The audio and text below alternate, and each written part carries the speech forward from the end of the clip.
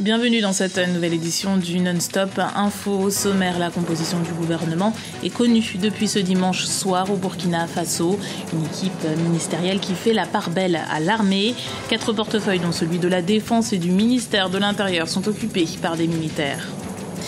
Un taux de participation de 60% et un second tour qui se profile. L'élection présidentielle a eu lieu ce dimanche en Tunisie. 25 candidats étaient en lice pour tourner la page de la transition amorcée en 2011. Et puis zoom sur la Caisse nationale de sécurité sociale au Gabon. Un demi-siècle après sa création, les résultats sont mitigés. Nous verrons comment la direction générale veut impulser une nouvelle dynamique pour une sécurité sociale efficace. La première séance du nouveau Conseil des ministres est prévue ce lundi au Burkina Faso. Une équipe ministérielle dont la liste a été communiquée dimanche soir. Le président de la transition, Michel Cafando, diplomate de formation, occupe également le poste de ministre des Affaires étrangères. Trois autres militaires composent le gouvernement au ministère de l'Intérieur, des Mines et de l'Énergie, ainsi que celui des Sports. Notons la présence de Augustin Loada, directeur du Centre pour la gouvernance démocratique, siégera au ministère du Travail, une composition qui laisse certains observateurs sceptiques. Écoutons les propos de Guy Hervé porte-parole du mouvement Le Ballet Citoyen. Dans les noms des ministres, euh, nous connaissons des, des figures qu'on peut positivement apprécier. Euh, il y a aussi des figures qu'on n'aurait sans doute pas souhaité voir euh, dans ce gouvernement, dans la mesure où elles ont joué des rôles très important, notamment dans le dossier Norbert Zongo. Mais en gros, comme on dit, c'est au pied du mur qu'on reconnaît le vrai mensonge. Donc, euh, nous, nous, euh, nous, attendons donc euh, de les voir à l'œuvre compte tenu donc des défis qui attendent ce gouvernement de transition et pour lesquels nous disons que nous porterons donc une attention particulière. Et nous les attendons au, tournant parce qu'il n'est surtout pas question euh, de trahir euh, la volonté du peuple qui s'est manifesté euh, dans l'insurrection donc du 30 octobre.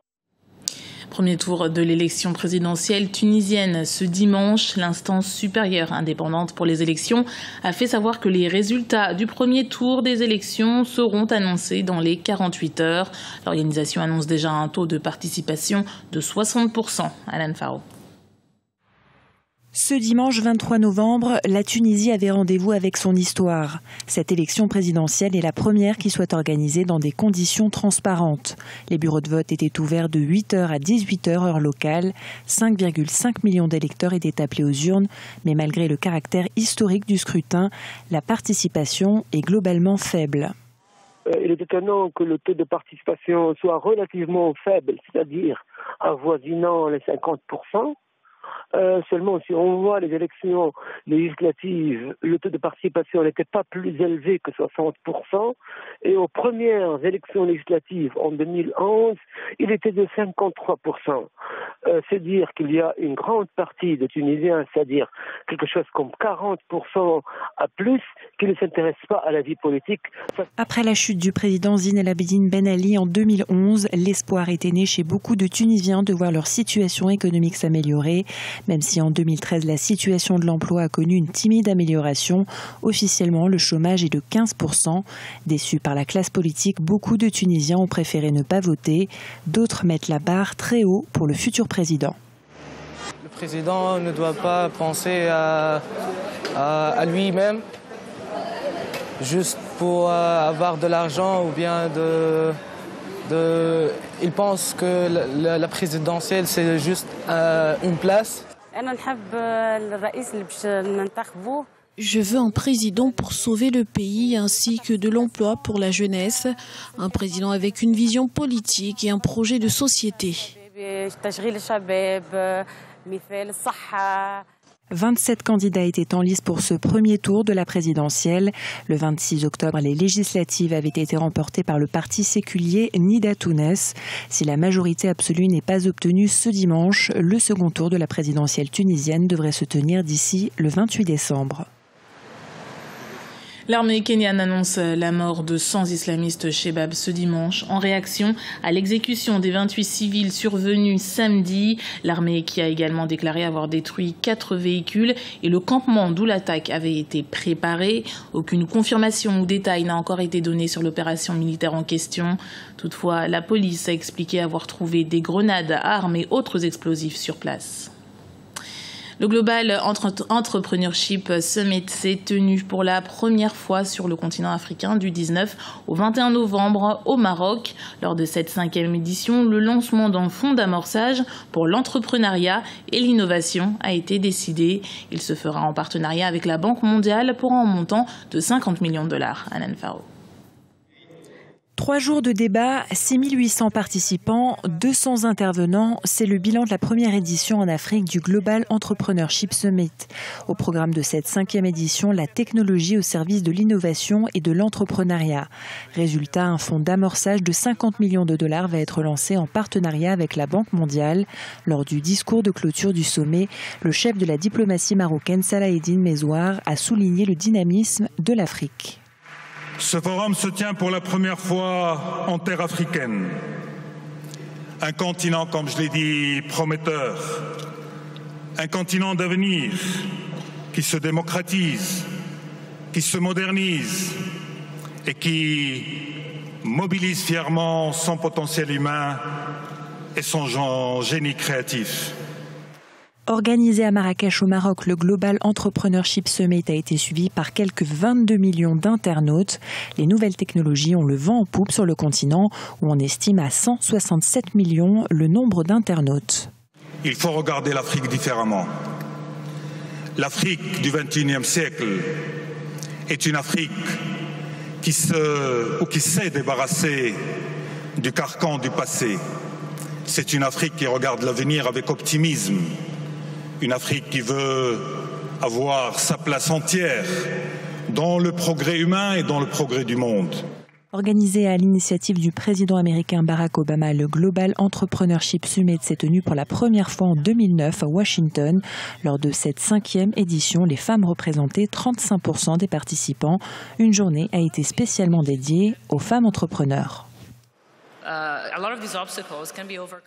après 50 ans d'existence, le parcours de la Caisse nationale de sécurité sociale du Gabon a été émaillé de temps forts, mais aussi de périodes difficiles qui ont mis sa pérennité en doute.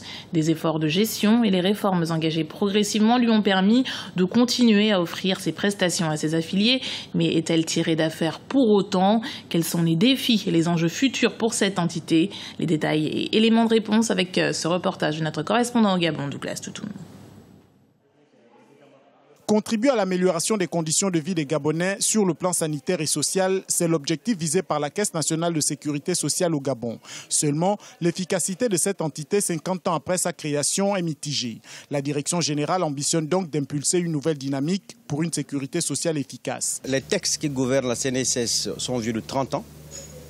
Le contexte a changé. L'environnement social, politique, économique, culturel du Gabon a changé. Euh, sommes-nous prêts aujourd'hui à affronter les défis du futur? Lorsque l'on sait que euh, la branche qui euh, gère la vieillesse est en déséquilibre depuis plusieurs années. 50 ans de prestations sociales pour le bien-être des assurés, défis et enjeux du futur. C'est le thème d'une réflexion entre experts qui a eu lieu à Libreville. Objectif, pallier les problèmes rencontrés durant ces 50 premières années d'existence. Procéder à la création de nouveaux régimes permettant d'étendre la prévoyance sociale aux couches non encore couvertes ou insuffisamment couvertes. Revisiter les paramètres de gestion des organismes de prévoyance sociale, CNSS, Cette réflexion vient à point nommé pour les 85 000 assurés de la CNSS et ses 120 000 cotisants. Le taux d'emprise de la sécurité sociale sur la population active est de moins 40% avec un potentiel d'extension estimé à environ 200 000 travailleurs. Le Forum national de sécurité sociale qui s'est tenu à Libreville se présente comme une volonté ferme de repartir sur une base nouvelle et adaptée aux réalités du moment. La révision du cadre institutionnel de la sécurité sociale est un impératif pour éviter des menaces et des risques futurs pour notre système touchant directement les ressources de remplacement en fin de vie professionnelle. La CNSS gère essentiellement les pensions vieillesse, les prestations familiales et les risques professionnels. Pour qu'un employé bénéficie d'un numéro d'assuré, son employeur a l'obligation de s'acquitter régulièrement de ses cotisations. Un mot de sport et sachez que le comité de normalisation de la Fédération camerounaise de football, la FECAFOOT, a donné jusqu'au 26 novembre aux candidats à la présidence de l'organisation pour qu'ils complètent leur dossier. Six d'entre eux avaient été rejetés en fin de semaine car déclarés incomplets. Pour rappel, l'élection est prévue le 29 novembre. La dixième édition du festival du Rire Tousséo s'est achevée ce samedi à Brazzaville, au Congo. Depuis mercredi, des artistes venus d'Europe et des pays d'Afrique centrale et de l'Ouest ont fait vibrer la salle de spectacle de l'Institut français du Congo. Notre correspondant sur place, Prince Bafolo, a assisté à l'un de ces spectacles. Voici son partage. Le festival Tousséo, rendez-vous international du rire de Brazzaville, a tenu son pari cette année. Donner le sourire et détendre le public.